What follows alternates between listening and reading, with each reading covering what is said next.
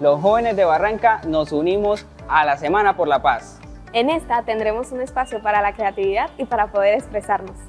Nos vemos este miércoles 11 de septiembre en el Polideportivo del Barrio Arenal. Desde las 3 de la tarde donde compartiremos murales, presentaciones artísticas y juegos recreativos. Los esperamos porque uniendo voces construimos país.